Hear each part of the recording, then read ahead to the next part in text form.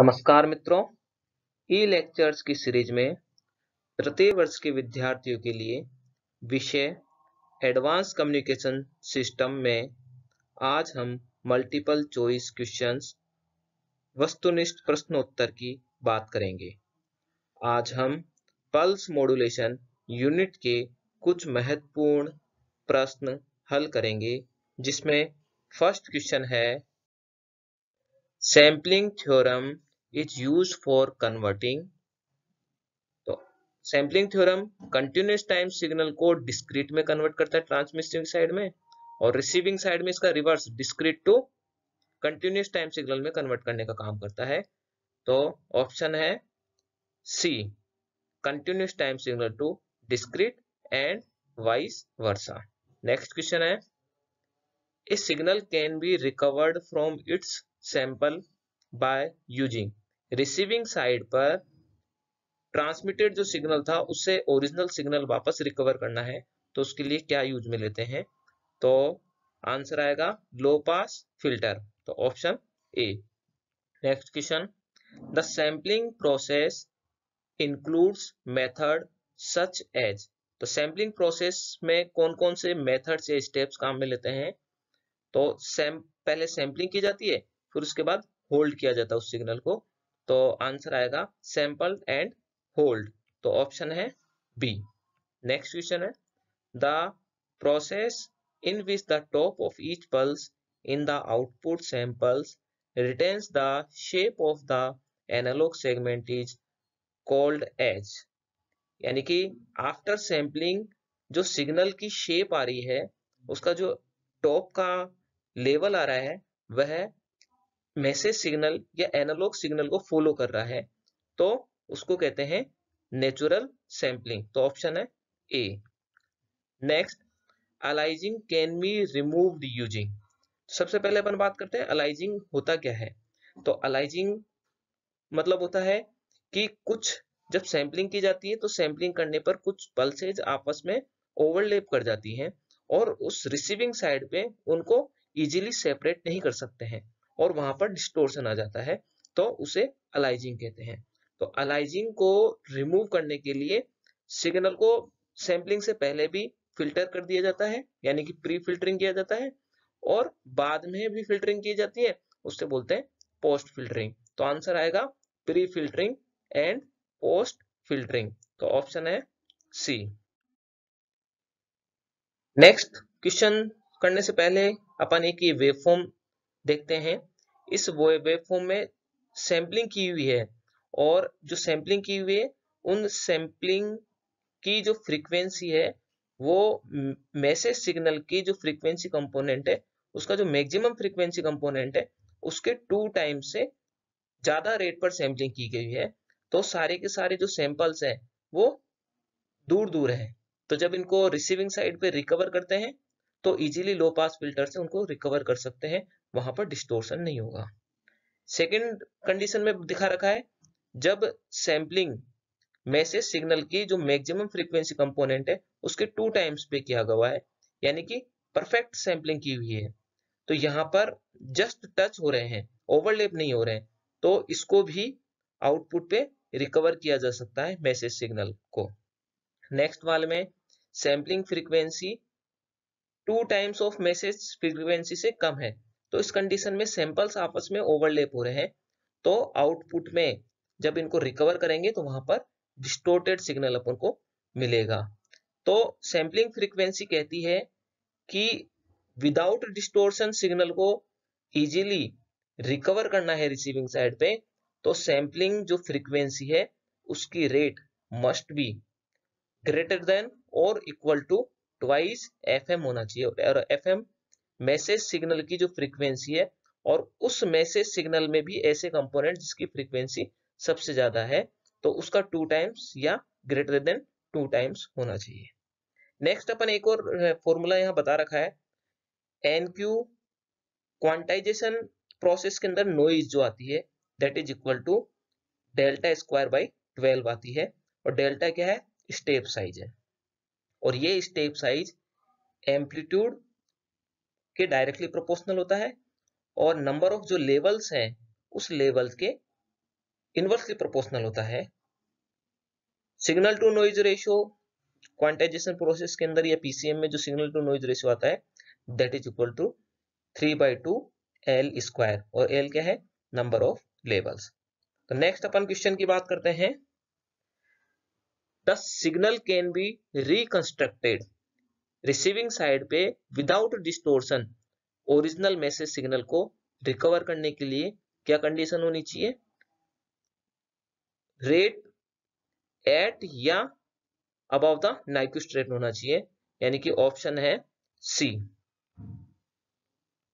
next according to sampling theorem तो sampling theorem के according sampling जो फ्रीक्वेंसी है, वह मस्ट बी ग्रेटर देन और इक्वल टू ट्वाइस एफ़ होना चाहिए। तो टाइम के रेस्पेक्ट में बात करते हैं।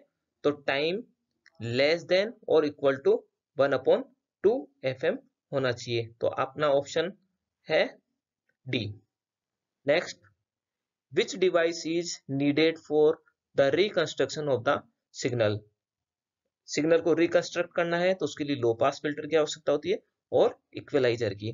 तो ऑप्शन है सी नेक्स्ट है A pulse width modula modulated signal can be generated by. Pulse width signal अगर जनरेट करना है तो उसमें से क्या यूज़ में लेते हैं?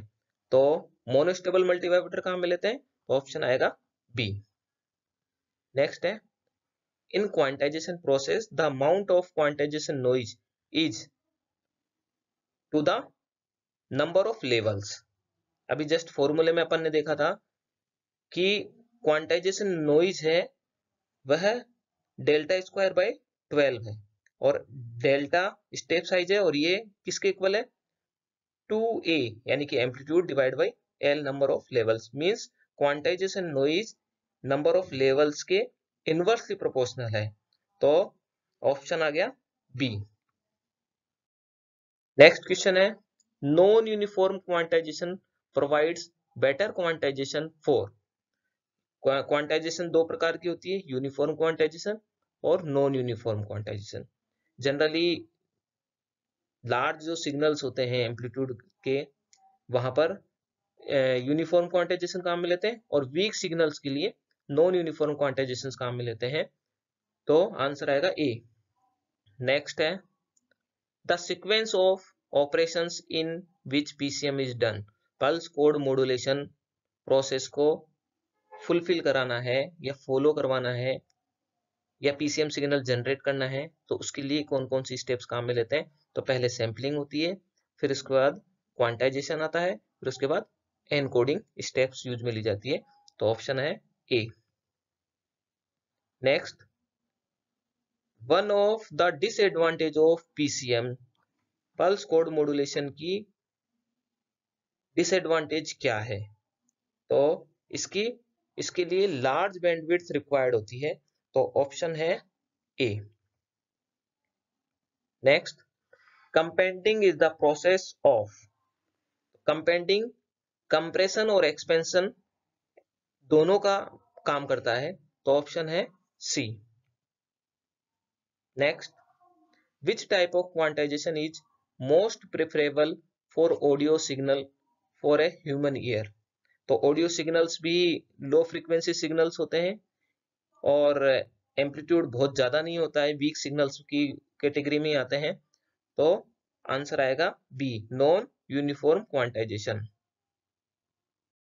next है इन डेल्टा मॉड्यूलेशन तो डेल्टा मॉड्यूलेशन एक बिट पर सैंपल ट्रांसमिट करता है और इसकी स्टेप साइज़ फिक्स होती है।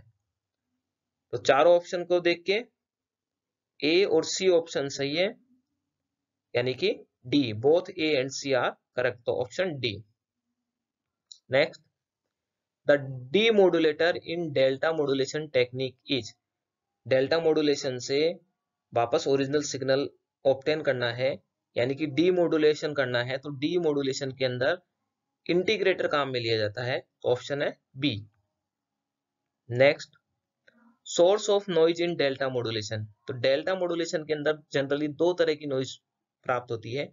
एक तो ग्रेनुलर नॉइज़ होती है और एक स्लोप ओवरलोड नॉइज़ होती है। ग्रेनुलर नॉइज़ का मतलब होता है कि अगर मैसेज सिग्नल कांस्टेंट रहता है तो ग्रेनुलर नॉइज़ प्रोड्यूस होती है। मैसेज सिग्नल सडन इंक्रीज होता है या स्लोप ज़्यादा होती है तो वहाँ पर स्लोप ओवरलोड कंडीशन आती है। तो ऑप्शन है C granular and slope overload next quantization noise occur in तो generally quantization noise pulse code modulation में प्रोड्यूस होती है तो ऑप्शन है A next the main advantage of PCM system is PCM system के इंपॉर्टेंट एडवांटेज क्या है? इसमें नॉइज़ लो होती है. Option C next in a delta modulation system granular noise occur when the अभी जस्ट बताया था ग्रेनुलर नॉइज़ जब मैसेज सिग्नल कांस्टेंट रहता है तो उस कंडीशन में ग्रेनुलर नॉइज़ प्रोड्यूस होती है। तो ऑप्शन डी है मॉड्यूलेटिंग सिग्नल रिमेन्स कांस्टेंट तो सही आंसर है D next the digital modulation scheme in which the step size is not fixed delta modulation के अंदर स्टेप साइज़ फिक्स रहती है, लेकिन अडप्टिव डेल्टा मॉड्यूलेशन में स्टेप साइज़ चेंज हो जाती है तो ऑप्शन सही आंसर है B next codec stand for codec का मतलब क्या होता है? तो सीओ से कोडर और डी से डिकोडर तो ऑप्शन है ए कोडर डिकोडर नेक्स्ट है the first digital code was the मतलब पहला डिजिटल कोड कौन सा था? तो बोर्ड डॉट कोड तो option B next in digital transmission signal degradation can be removed using यानी कि डिजिटल ट्रांसमिशन के अंदर सिग्नल का जो डिग्रेडेशन होता है सिग्नल की जो स्ट्रेंथ कम हो जाती है, उसको किस तरह से रिमूव किया जा सकता है? रिपीटेटिव रिपीटर्स काम में लेने से सिग्नल की डिग्रेडेशन रिमूव हो जाती है तो ऑप्शन है सी थैंक यू